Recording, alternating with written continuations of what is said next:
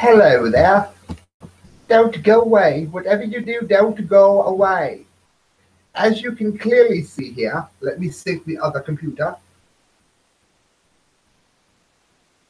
As you can clearly see here, it is the Invisible Man, back again from jolly old England to once again host another Halloween show from the correct views.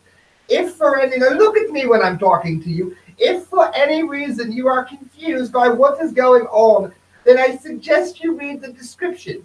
Needless to say, all of the news is real, but the people giving it to you, well, they are not real. They are created, but they could have been real.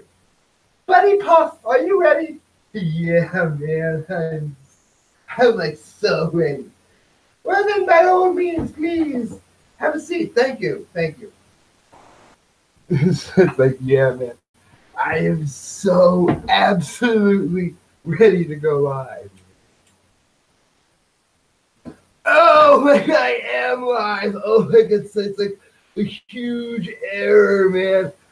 Greetings, unsettled souls, and like welcome to the correct views. I am Buddy Puff, and man, I've got some stories for all of you, man, for the Halloween season. He's saying I should get on you, man. Check this out. Showing you how the country's going straight to hell, man. This is from the smoking gun. Louisiana man, Louisiana man tells cops that a ghost planted meth on him, man.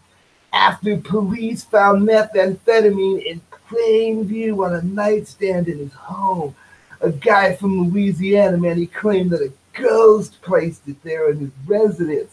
That was according to the arrest report. Now, like, here's the part that really pisses me off, man. Like, they didn't even question the ghost, man. They didn't put him in cuffs or nothing, man. Invisible man, man, what would have happened to you, man, if you'd, you'd have been doing something like that? I'm just saying, man, the law is corrupt. Responding to a reported stabbing, and it might have been the ghost that did that too, man. Responding to a stabbing, sheriff's deputies early yesterday encountered, well, you know what it was yesterday. They encountered Michael Ottenberry, 59, at the door of his mess West Monroe residence, man. Ottenberry seen at the right, like, you know, if you're on the, the website, otherwise you're just to be seeing my right. right. Anyway, he was he cussed at the cops and the people who were obviously not there. Maybe they were there, man. Did you question the people that weren't there? Well, you know what I mean, right? It makes sense. Deputies quickly determined that Ottenberry had not, as he claimed in the 911 call, been stabbed on the head with an axe, man. He was completely lying. Unless, of course, the ghost took the axe, man. You have to axe him. I don't know, man. Normally, were intruders inside the home, man. That's kind of weird. While making sure that Ottenberry's residence was clear, the deputy spotted in plain view on the nightstand, man, an open brown paper bag with approximately one gram of suspected meth, man. A subsequent search of Ottenberry yielded a pill bottle containing another gram of meth. And that just goes to prove that his story was real, man. There was one meth for him, and then, and then there was like another one for the ghost. So what it might have been is like this guy ratted out the ghost, which makes him like way not a cool dude, man. Uh, he'd been surmised that the ghost or intruders placed the meth on him and were exiting the home through the nearby window, man, which was not accurate according to what investigators noted. Man.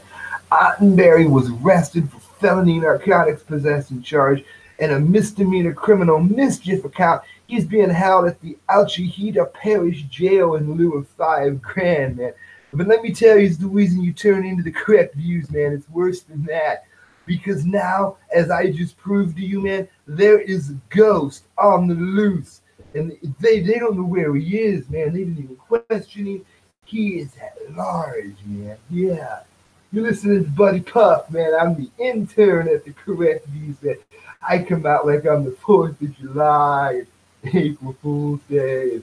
Man, I've been an intern here for, for a really long time Just, uh, Well, let's not get into that. Listen, man, Yahoo, I got two left for you, man, just two of them. Yahoo News, Half Moon Bay, California, man, one special seed. Now, it's not like the kind of seed you're probably thinking I know about, but after months of care and an Oregon commercial pilot produced a massive pumpkin that tipped the scales at a global weigh-in Monday in Northern California, man. This was a kick-ass bitchin' pumpkin, man. Fourth time this gargantuan plants were awarded top honors, man. Kind of makes you wonder what else he grows, man. Like if he can grow a pumpkin that big, could you imagine, man? You'd need like two or three ghosts to be hauling this around, man. I'm just saying. It all started with one special seed, man. That's what this dude said. And I found my experience, man. If a few special seeds can do great things, man. Steve Daletas, man, that's the guy who did it. A 2,000, man, 170 pound pumpkin. That's like a really big pumpkin. I ain't got to tell you that, you know. So hats off to him, man. I think that's awesome. Yahoo News is being like really slow. So that's all I'm going to cover that story. But it does bring us to the last one. And Sam is always there with the dumbity of the day, man. The stupidest story of the day. Well, let me tell you what, man. I got the dumbity of the day, man. I didn't forget. How about this, man? Yahoo News again, so it's going to be just as slow, man. It may be because of the ghosts. A Halloween display was so scary that neighbors called 911, man. This was in West Fargo, Fargo wagon coming down the street, North Dakota, man a Halloween decoration hanging in a window of a North Dakota home is so scary that it prompted calls to 911 from neighbors. Like they must have been neighbors that never watched a horror movie, man. Or maybe they were enjoying something that the ghost left behind with these really cool scenes. The sign reading Help Me, which appears to be written in blood, is part of Becky Mule's display for her favorite holiday there at the West Fargo home. But don't tune out, man, because Wday. Oh, WDAY TV. I thought that was Wday. I, I don't know what day it is. Wday TV reports that the Moose and her husband began getting messages from neighbors over the weekend asking if they were okay, and one they will even dial 911, man, leading to a visit from a police officer. So like if ghosts were leaving stuff in the house, they would have also gone down there. Muse said well the ghost was tied up in Louisiana before you say anything, Bob. Muse says the incident ended in a laugh and the officer didn't ask him to take the Halloween stuff down. No, man, because they're all tied up looking for these ghosts that are like freaking out in Louisiana and planting meth on people. All right, guys, that's Buddy Puff. No, let me remind you that there's going to be another Halloween show between them, and not like after Halloween because I don't like ruin it, you know. But there's going to be one closer to Halloween, and you're going to be joining Odd Mortiz. And then he's one of the nicest people. Like he's like a psychopath. He's really cool. And lastly, thanks for tuning in, guys. I hope you liked the Halloween show there is going to be another one. I'll be doing it, like I said, um, like Buddy said, I'll be doing it before Halloween, and uh, it's with uh, Ard Mortiz. It's a different character. So hit share, hit subscribe. Make sure you uh, donate at the correct views at hotmail.com. Good night, friends. God bless. So donate that way through PayPal. Ending this, and my other live viewers. I hope you liked it. I do. I do.